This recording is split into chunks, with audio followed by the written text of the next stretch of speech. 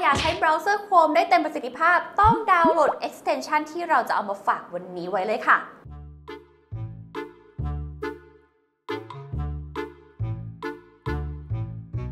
ใครที่ใช้เบราว์เซอร์ Chrome อยู่แล้วเนี่ยน่าจะรู้จักกับ Chrome Extension เป็นอย่างดีนะคะ เพราะว่ามันเป็นส่วนต่อขยายที่จะช่วยทำให้การใช้งาน Chrome ของเราเนี่ยสะดวกง่ายสบายมากขึ้นค่ะ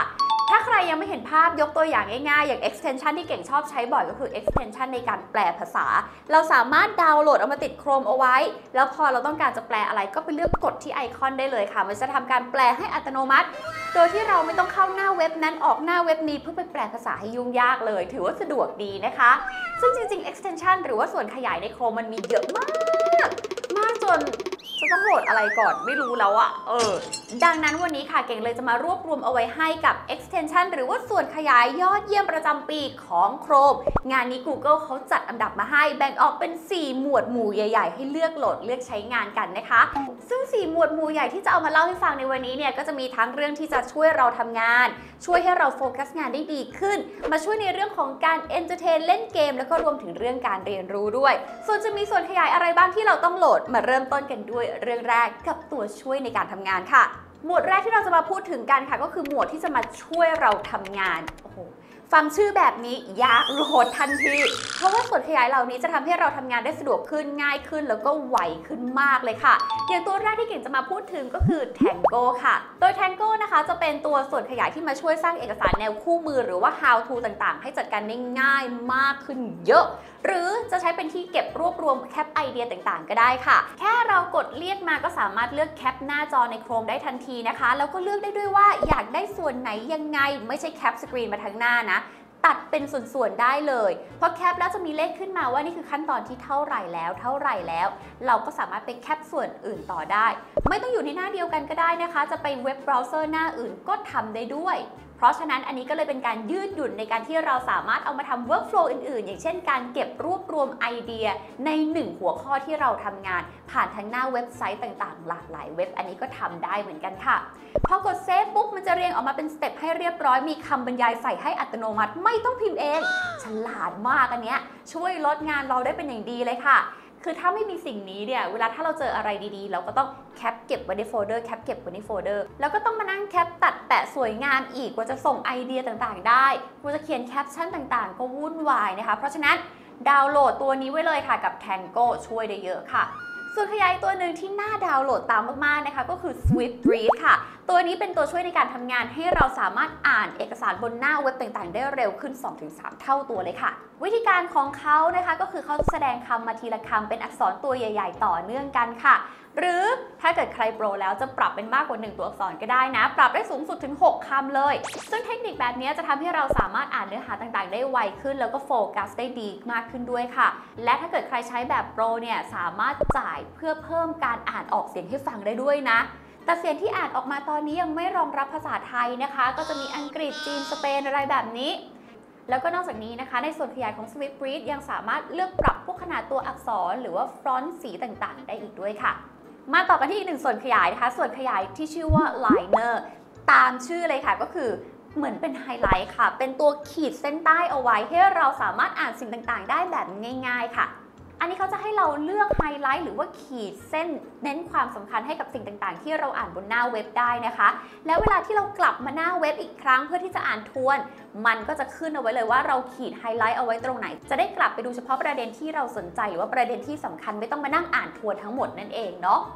แล้วก็ไม่หมดแค่นั้นค่ะ เพราะว่าในนี้เรายังสามารถเลือกไฮไลท์คลิป YouTube ก็ได้ด้วย ชอบนาทีไหนไปกด pin เอาไว้ เพราะเมื่อไหร่ที่เรากดเข้าลิงก์นั้นอีกทีเนี่ย มันก็จะขึ้น pin เอาไว้เป็นช่วงเวลาสำคัญ กดไปดูช่วงเวลาที่เราชื่นชอบได้ง่าย ๆ เลยค่ะ อีกข้อดีหนึ่งของ Liner ก็คือเราสามารถเลือกเซฟแล้วก็เลือกเปิดได้ค่ะว่าจะให้เป็นส่วนตัวหรือเป็นสาธารณะ ถ้าเปิดเป็นสาธารณะเนี่ยเรายังสามารถเลือกแชร์บทความต่างๆ ที่เราขีดไฮไลท์ไว้ ให้กับสมาชิก Liner คนอื่นๆ ดูได้ด้วย ซึ่งในทางกลับกันเราก็ไปดูบทความของคนอื่นได้เหมือนกันค่ะ เพราะฉะนั้นมันก็จะเป็นเหมือนการไปอ่านบทความในหัวข้อต่างๆ ที่น่าสนใจแบบเร็วๆ เฉพาะส่วนที่สำคัญ ถือว่าทำได้ดีทีเดียวค่ะ extension หรือว่าส่วนขยายตัวต่อมาที่ต้องโหลดเลยสำหรับใครที่ทำงานแล้วต้องพิมพ์อีเมลเป็นภาษาอังกฤษนะคะ ก็คือ compose AI ค่ะ เพราะว่าตัวนี้จะมาช่วยเราเรียนประโยคเป็นภาษาอังกฤษที่สละสลวยหรือแม้แต่เป็นภาษาทางการ ใครที่จะส่งเมลบอกเลย มีตัวนี้ตัวเดียวรอด ส่วนขยายอันนี้นะคะ จะให้ปัญญาประดิษฐ์เนี่ยมาช่วยในการเขียนค่ะ ซึ่งใช้ได้ในหน้าเว็บที่หลากหลายนะ ไม่ว่าจะเป็น Gmail Outlook รวมถึง Facebook เองก็ได้ค่ะ เวลาที่เราพิมพ์ประโยคอะไรลงไปเนี่ยเขาจะเสนอคำถัดมามาให้ ถ้าเราโอเคที่จะใช้ตามก็กดได้เลย มันจะเรียงรูปแบบประโยคให้ใช้งานได้ทันที แต่ถ้าเกิดสมมติดูแล้วไม่ชอบรูปแบบประโยคนี้เลยอะอยากได้ที่ดูสละสลวยสวยกว่านี้ หรือเป็นทางการกว่านี้ อันนี้สามารถทำได้นะคะ ไปกดเลือกดูได้เลย มันจะมีประโยคที่คล้าย ๆ กันขึ้นมาให้ว่า ใช้ใส่ประโยคไหนแทนได้บ้าง เลือกอันที่ชอบแล้วก็กดใช้ได้เลยค่ะ อันนี้ดีมากๆนะ ใครที่ต้องเขียนอีเมลภาษาอังกฤษบ่อยๆ แนะนำเลยค่ะ ไม่ต้องเสียเวลาคิด ไม่ต้องเสียเวลาหาคำศัพท์ใดๆอีกต่อไป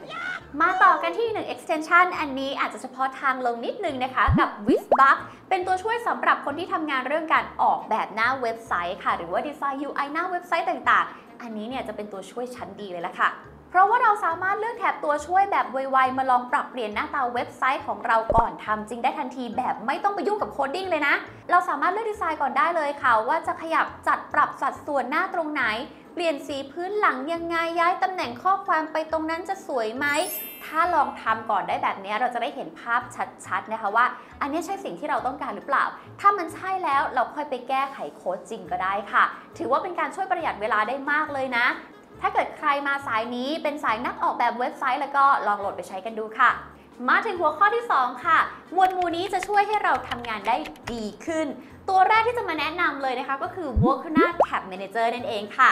เชื่อว่าหลายๆคนคงเป็นแบบเก่ง เก่งอะเป็นคนหนึ่งที่เวลาสนใจอะไรอะ ก็จะเปิดเด้งเป็นแท็บไว้เรื่อยๆเรื่อยๆเรื่อยๆเรื่อยๆแล้วพอจะมาเปิดดูหาสิ่งที่เราสนใจอะอยู่ไหนแล้วก่อน คือเปิดเป็น 10ไง แล้วก็หาไม่เจอกว่าจะหาได้ก็ต้องเปิดดูทีละอันทีละอัน เพราะว่าตัวอักษรมันก็จะถูกย่อลงแบบเล็กๆๆๆจนมองไม่เห็นแล้วอะไรอย่างเงี้ยตัวอักษรด้านบนแถบเนาะเพราะฉะนั้น Workfona ก็จะมาช่วยแก้ปัญหานี้ให้เราได้ค่ะจบทุกปัญหาความงงนะคะ เพราะอันนี้เขาจะเป็นตัวช่วยในการบริหารจัดการแท็บบนเบราว์เซอร์ของเราค่ะ ไม่ว่าจะเป็นการมาช่วยจัดหมวดหมู่ให้เป็นระเบียบมากขึ้น คือเราสามารถ เอาแท็บที่เราสนใจเนี่ยไปใส่ไว้ในหมวดหมู่ได้เลยนะคะว่าหมวดหมู่นี้เป็นโปรเจกต์ A หมวดหมู่นี้เป็นโปรเจกต์ B แล้วเวลาที่จะทำโปรเจกต์เนี้ยค่อยเปิดขึ้นมาทีละอันทีละอัน ซึ่งข้อดีเนี่ยนอกจากที่จะทำให้เราหัวจะไม่ปวดแล้วนะคะ การที่จะลดแท็บจาก 10 แท็บเหลือ 3-4 แท็บเนี่ยก็จะช่วยให้โครงทำงานได้ไวขึ้นด้วยเหมือนกันค่ะ และนอกจากนี้เนี่ยเจ้า Workfona ก็ยังสามารถซิงก์กับคอมหรือมือถือเครื่องอื่น ๆ ให้เราทำงานต่อเนื่องได้แบบไม่สะดุดด้วยนะ สะดวกดีค่ะ Okay. มาต่อกันที่หนึ่งส่วนขยายค่ะกับ CRX Mouse Chrome Gesture ค่ะคือก่อนหน้านี้ถ้าเกิดใครใช้มือถือจะรู้ว่าเราสามารถเลือก gesture ต่างๆ เพื่อทำงาน สั่งงานให้มันง่ายขึ้น แต่ถ้าเกิดใครอยากทำแบบเดียวกันนี้บน Chrome ตอนนี้ทำได้แล้วค่ะ ด้วยการใช้เมาส์ของเราเนี่ยแหละ เพียงแค่โหลด extension ตัวนี้ค่ะ ข้อดีของส่วนขยายอันนี้คือเราสามารถโหลดมาแล้วเลือกตั้งค่าแต่ละท่าทางได้เองแบบง่ายๆเลยนะคะ อย่างเช่น ลากไปทางซ้ายใต้คำไหนให้เป็นการ search หาคำนั้น เพราะฉะนั้นเนี่ยเรื่องของการ search ก็จะเร็วขึ้นไม่ต้องเอาคำ Copy แล้วก็ไปวางบนเว็บ search ค่ะหรือจะขยับเมาส์เป็นวงกลมให้เข้าหน้าเว็บไซต์ที่เราใช้บ่อยได้ทันที โดยไม่ต้องไปเสียเวลาพิมพ์ก็ได้ นอกจากนี้ยังสามารถเปลี่ยนรูป pointer เมาส์ให้น่ารักขึ้นได้อีกนะ อย่างเช่น ใส่รูปตัวเองลงไป อะ นี่ไง น่ารักเลย มาต่อกันที่ส่วนที่ 3 ค่ะเป็น extension หรือว่าส่วนขยายที่จะมาช่วยเราในเรื่องของการเล่นเกม หรือว่าการพักผ่อนหย่อนใจกันบ้างค่ะ ตัวแรกที่จะพูดถึงนะคะ ก็คือส่วนขยายที่ชื่อว่า Robo ค่ะเป็นส่วนขยายที่จะมาช่วยให้คนที่เล่นเกม Roblox เล่นเกมได้โปรมากขึ้น สะดวกมากขึ้นค่ะ ส่วนขยายอันนี้จะมาช่วยทุกอย่างนะคะ ที่จำเป็นในการเล่น Roblox ตั้งแต่เรื่องของการปรับแต่งโปรไฟล์ Roblox การจัดเรียงหน้าตาเกมตามประเภทให้เราดูได้ง่าย ๆ ไปยันเครื่องมือที่ช่วยในการเทรดของในเกมค่ะ ไม่ว่าจะเป็นการคำนวณมูลค่าการซื้อขายการปฏิเสธการซื้อขายจากบอทเป็นต้น เพราะฉะนั้นถ้าเกิดใครเล่นเกม Roblox ต้องลองดาวน์โหลด extension Roblo ไว้นะคะ ส่วนอีกหนึ่งส่วนขยายที่อยากให้ดาวน์โหลดเอาไว้นะคะ จะได้ดูหนังได้สนุกเข้าเว็บได้ฟินฟินอินอินมากขึ้นก็คือ eJoy ค่ะ ตัวนี้เป็น extension หรือว่าส่วนขยายที่จะมาช่วยแปลภาษาให้กับเรา สามารถแปลได้หลากหลายภาษาเลยนะคะ แล้วก็ไม่ได้แปลได้แค่บทความหรือว่านิยายที่เราอ่านบนหน้าเว็บเท่านั้น แต่ยังแปลคลิปบน YouTube ได้ด้วยค่ะซึ่งคลิปที่รองรับอันนี้ก็จะรองรับทั้ง YouTube Netflix Coursera TED Udemy ถ้าเกิดใครใช้ในเรื่องการศึกษาอันนี้ก็ได้เหมือนกันนะคะ คือเราสามารถฟังภาษาต้นทางพร้อมดูคำศัพท์ไปได้ในตัวเหมือนกับเป็นซับไตเติลซึ่งเราสามารถเลือกภาษาต้นทางแล้วก็ปลายทางได้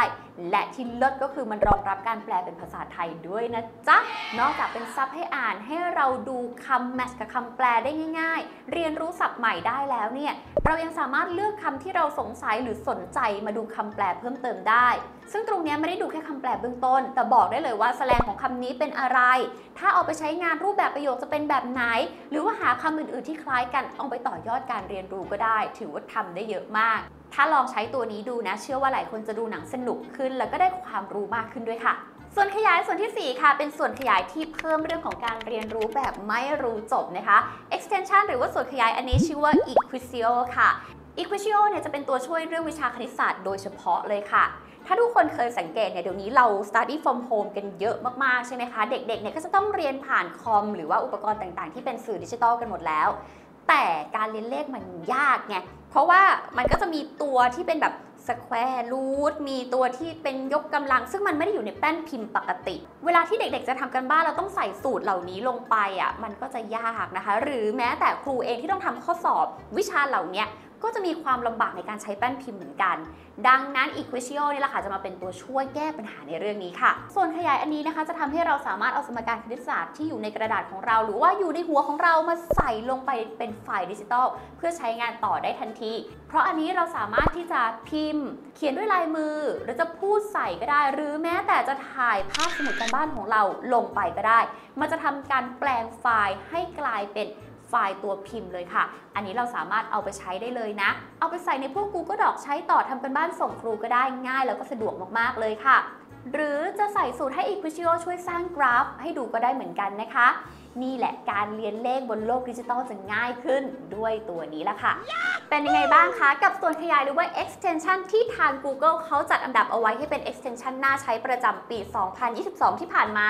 แต่ละตัวถือว่าโอ้โหทำมาตอบโจทย์ได้ดีนะคะ แล้วก็เรื่องการใช้งานถือว่าทำได้ง่ายมากๆเลย หลาย ๆ ตัวเก่งเองยังไม่เคยรู้จักด้วยซ้ำพอมาเจอแบบนี้แล้วแบบโอ้โหโหลดมาใช้แล้วติดใจมาก เพราะฉะนั้นถ้าเกิดใครยังไม่มีไปโหลดตามกันได้เลยค่ะ หรือถ้าเกิดใครมี extension ตัวไหนที่ใช้อยู่รู้สึกว่าเฮ้ยมันดีนะเนี่ยอยากให้พูดถึงตัวนี้ลองเอามาคอมเมนต์บอกเราเอาไว้ได้นะคะ ดูคลิปนี้จบแล้วอย่าเพิ่งปิดอย่าเพิ่งเปลี่ยนไปไหนค่ะ อย่าลืมกดไลค์กด subscribe ช่องให้เราด้วย แล้วก็อย่าลืมกดกระดิ่งแจ้งเตือนเอาไว้ดูคลิปถัดไปนะคะ แล้วเจอกันค่ะ